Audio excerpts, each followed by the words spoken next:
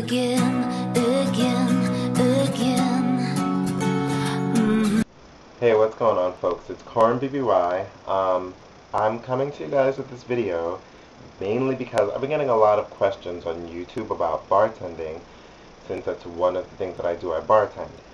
Like, how do you become a bartender? Do you need certific certificates? You know, what are the things that you need to know in order to pursue a job as a bartender? Um, I'm going to go through the videos very, very briefly and try to summarize them as best as I can because nobody has time to sit there and go through a 10 to 20 minute tutorial every day.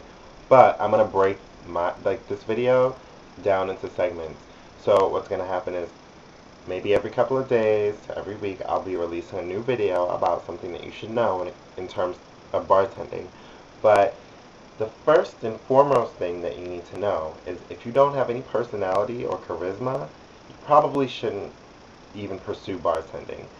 Mainly because it really doesn't take all that to make a drink as long as you can follow simple instructions. Anybody can make a drink. But when it comes to the job, it really is all about customer service and your skills and bringing in a clientele that will keep coming back and see your charm and see your charisma in whatever kind of establishment you're in or choose to be in. So, with that said, I'm going to go through the rest of this and give you guys a couple of drinks that I like myself and explain how to make them.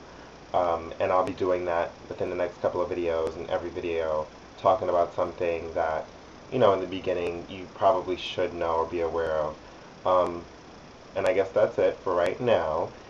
If you guys have any more questions, feel free to ask me.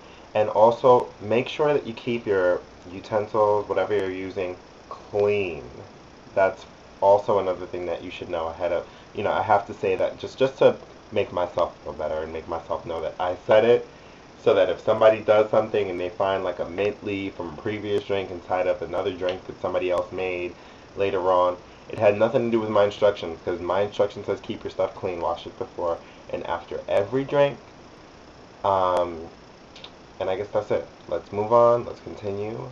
And have a good night, guys. Bye.